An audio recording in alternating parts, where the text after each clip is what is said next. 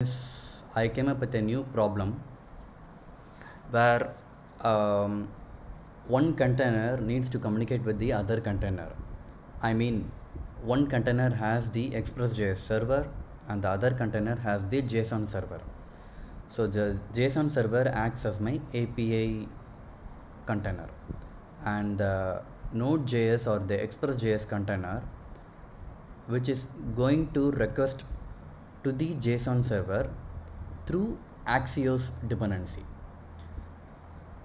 So I got a strange error which I am displaying in the screen currently. So this is the error I am I, I was facing guys.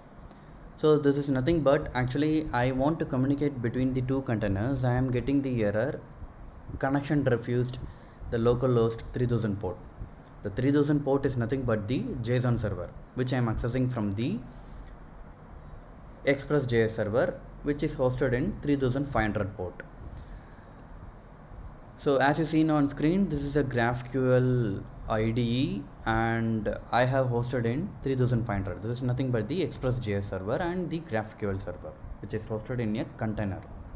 This container needs to do an API request to the which is in the JSON server uh, which is in the inside the container with port 3000 so I got this error in the right side section of this. So currently it is displaying in the right side section as uh, the uh, uh, the data.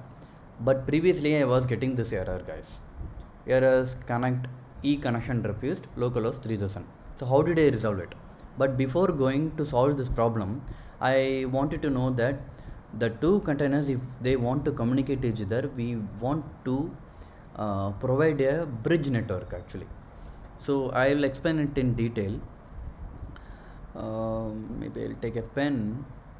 So what it needs is like I have two containers say like A and I have another one container called B.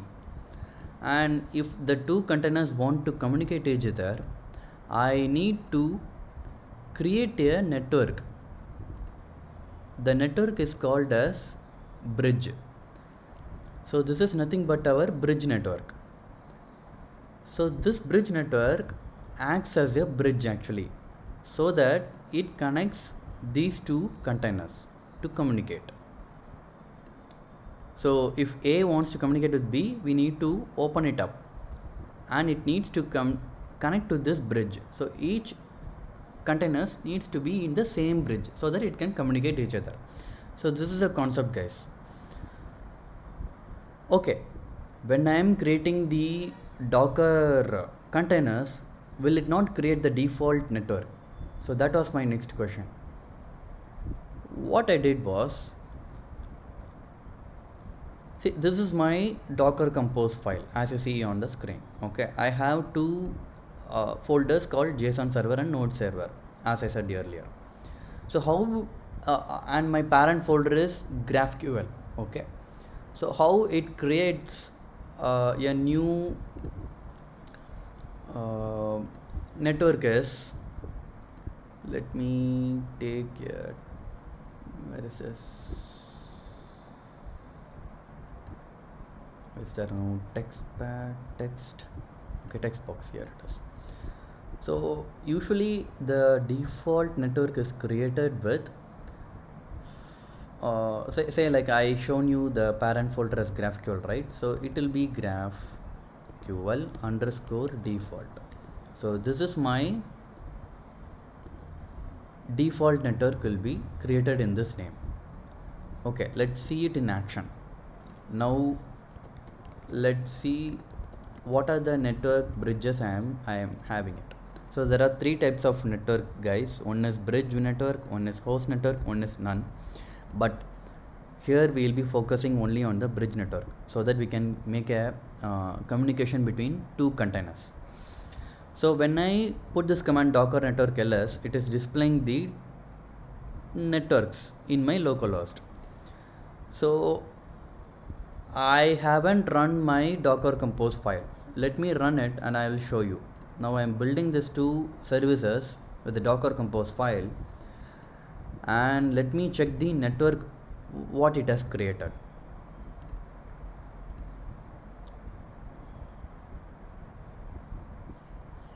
Hope it would have been created. Okay it has been created. When I put again docker network ls it is displaying graphql underscore default. So this is a bridge network it created by default. So graphql is nothing but the folder name. Underscore default is nothing but it adds as a by default and it creates a bridge network. What driver type? It is like of bridge network. So when we go and inspect this docker network inspect sorry docker network inspect the network id okay so in this section i have two containers in the uh, in the object field as a key. So all these con two container ids i have been uh, displayed here in this network bridge. So what it shows is the network bridge has these two containers it can communicate to each other and it allocates a separate IP address of this so that it can communicate to each other. So what I uh, so initially I was getting a empty object but now I deleted the network and then I deleted the containers as well. And then I tried to recreate I mean docker compose I docker compose command I tried to rerun it.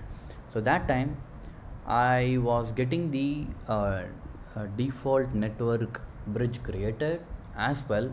The containers getting binded to the network bridge. So this solved me the problem and now what I did was now I was able to query it say 23 25 so whichever data. Say like i have the data here. Here i have id 23 24 106 105 so whichever the id we i'm giving it the name and the data or the age i can query it. So that's about it guys. And if you like this video please subscribe. It will be a boost up for me to put up more channels Thank you guys.